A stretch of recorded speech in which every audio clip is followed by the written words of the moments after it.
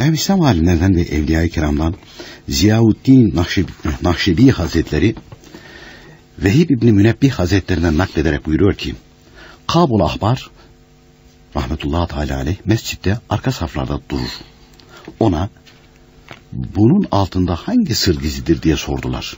Buyurdu ki Tevrat'ta okumuştum ki Muhammed Aleyhisselam'ın ümmetinden öyle insanlar vardır ki onlardan biri başını secdeye koyunca başını secdeden iyice kaldırıncaya kadar Allahü Teala onun arkasında olanı mağfiret eder.